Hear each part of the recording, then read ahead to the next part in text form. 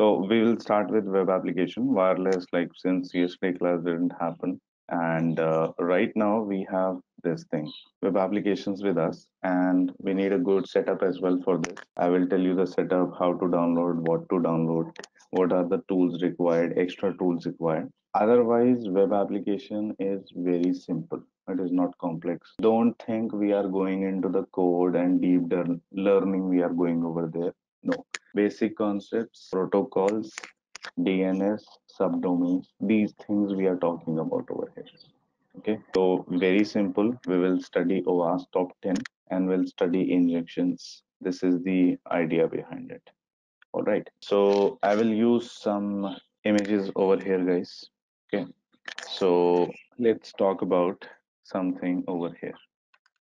Okay, when I ask you about web application, so this is like one image which I'm using right now. So you can see guys on the left hand side, we have browser, application server and database. Okay.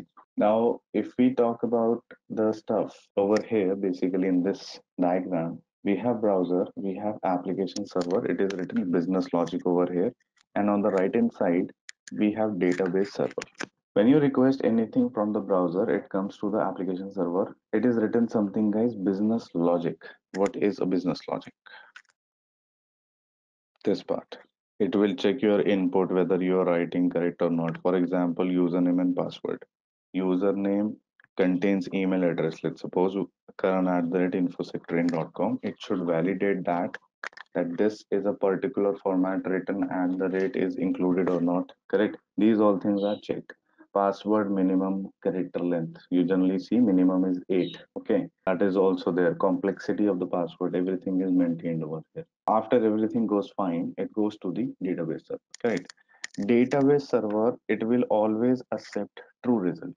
Only true nothing else. Only true result it accepts and it will give you the result back onto the browser. If everything goes well it goes to the browser again and everything works fine okay guys what will happen when the query is false? You request something from the browser application server says okay it is fine. In the database server records are not found. So a false query will be generated. I have written in black color over there. What will be the response to the browser? Let's suppose you give a username password. You are giving in a particular format. It goes to the database server. Database server say username password incorrect. Now what will be the response incorrect username and password it throw does it come back to the application server or it directly comes to the browser? Status code will come and then it is shows to the browser. Yeah. So workflow will be same. Like workflow will be this only that you are calling to the application server back because i wrote function call over there. So function call return should come to the application server then to the browser everything will come. Okay. Take a case take a case deliberately if at the front end that is my browser i make everything true over here. In the username password i make or any field i just make everything true. Okay. I am passing true results over here. Will the database server let me to go inside yes or no it will allow me to go in right? Yeah. this is the basic property of a sql injection. Basic property okay? That this thing happens up whenever you are starting this browser and you are just passing the true queries inside it it will accept. So actually we are at one end we are working over here only client side. We are not at the server side. Attacker pentester always because you don't have anything in your hand nothing but your browser so application server, you don't know. Database server, you don't know. We need to gather information about these two things, and then we start doing playing around with the application server and the database server. Okay, so deliberately we have to make it true at the front end. This is the main logic. Okay, moving on to the next part. Just give me a minute. Let me just draw a new image. Right, I will use that image and I will create a new one okay so this was our original image guys okay i'm taking this into consideration and I, what I do is we try to bypass a login page. First of all, we'll start from there. Then I will explain you OWASP top 10 vulnerabilities. Then one by one, one by one, we will discuss everything. Okay. So we are over here right now and we are in a mood to learn that how to bypass a login page. This is our main criteria.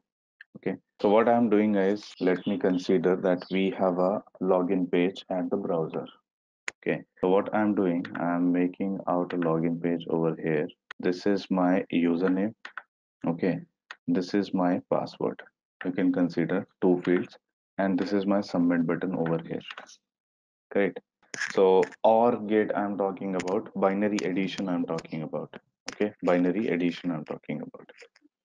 There are four options, uh, four combination which we can make 0, 0, 0, 1, 1, 0, and 1, 1. Can you tell me the output of each and everything? 0, 1, 1, and last one is also 1. Correct. Right, this is a binary addition. This is not a mathematical addition, right? So this one is 1. This one is going to be again 1. This one is going to be again 1. Okay. So if both the inputs are like true when it is there, so one of the input is true, everything is becomes true over here. Right. I will write something like this. Just focus on the last one. Okay. I will write it like 1 or 1 equal 1. Okay. This is a binary or this is a string right now. This one is right now a binary representation. We are not specifying anything. We are not making a query string. Database understand which language? When you say MySQL, when you say MS SQL, when you say GraphQL,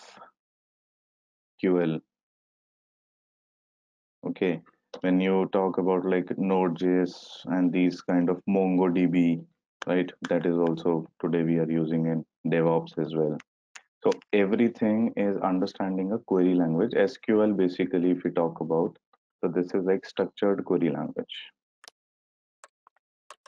Basically, this is this one. Okay.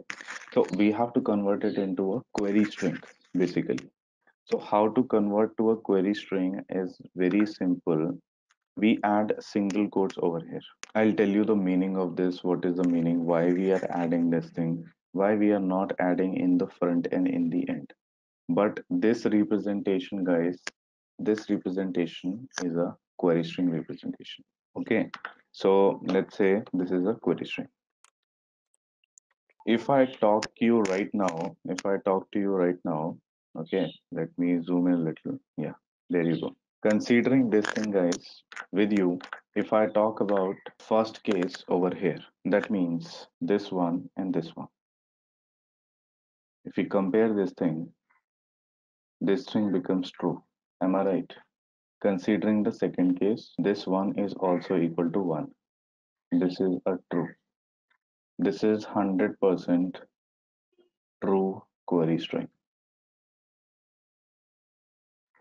That means what? If we supply this in the username and password, it will bypass. This is the case. Okay, 1 or 1 equal 1, either of the case should be true over here. Here both are true. So this is a 100% true query string. Now there are possibilities. I will write a possibility over here. You'll let me know whether it is Okay. correct or not. So I am what doing what? I am taking the coding of this text box at the down area. Okay. So if I talk about HTML, little bit, little bit I'm touching.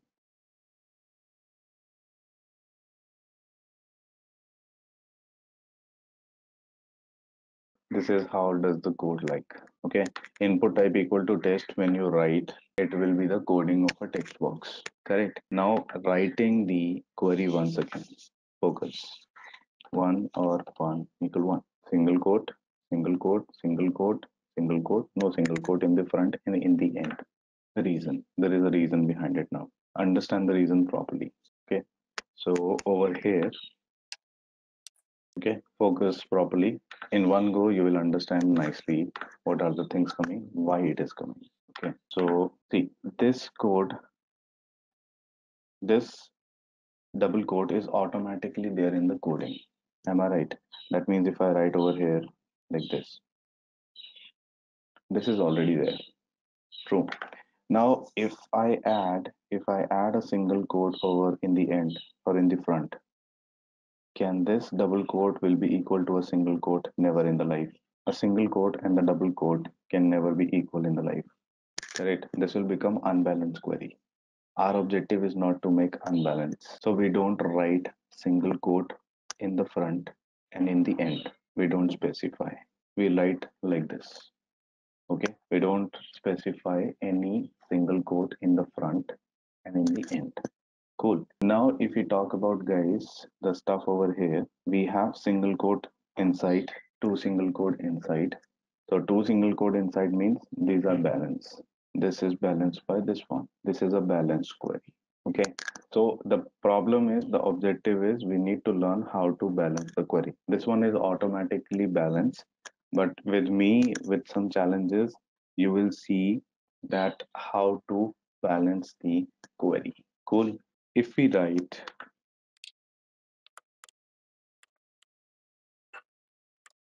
this is a true query or this is a false query.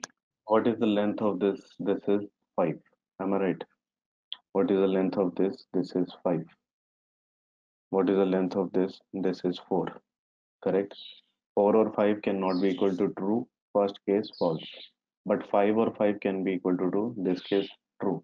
So either of the statement is true you will bypass. Okay either of the statement has to be true. This is the case. Because see this is logical or operations. Computer understand binary computer understand assembly. It will not accept hello how are you? No. He will convert it into assembly language then he will understand. Sky codes. So we are taking the character length over here. This is the first case. Okay. Then if I say another one, let's take another example. If I first of all close the quote. Okay, let me close the quote. Okay, close the quote and then I'm writing A equal to A. This is true or this is false. So in that case, you see this one, people are opening this thing correct let's suppose people are closing this thing also and after that you again you want to close you will write this in your case and you will write or and you will write 1 equal 1 this possibility is also there. So sometimes developer miss out some codes also in the coding. So from the browser end you can close the codes. So double quote or single quote you can try. So th if this one is empty guys no problem. We don't have to focus on the empty part right? We have to focus on the balancing of the codes. Balancing of the codes is happening that's why this thing a or a will work 100% okay? So balancing of the query is what we need to understand. Whatever you write that is no problem. Either of the case should be true. If one of them or both of them is false nothing will happen over there. Okay? Zero zero becomes zero. Nothing. Right? And after that in all the case 0 1 you have 1 1 0 you have 1 1 1 you have 1 so either of the case and both of the case are true it is a true otherwise it is false over there. So sometime in the coding people miss out to close the codes as well. So deliberately if you are on the browser if any input field is there you can try to put double quote or single quote over there. So first you will be closing the quote of the coding over here and then you will be writing your query. This thing is also possible. Keep this thing in mind and it will be clear to you the task which i'm going to give you it will be clear to you right? We will perform two or three together and we will see. This is the concept happening guys over here that we don't add this thing because this thing is in the coding. And if you write this thing this becomes an unbalanced query. This will become an unbalanced query. Anybody has any doubt you can ask me over here.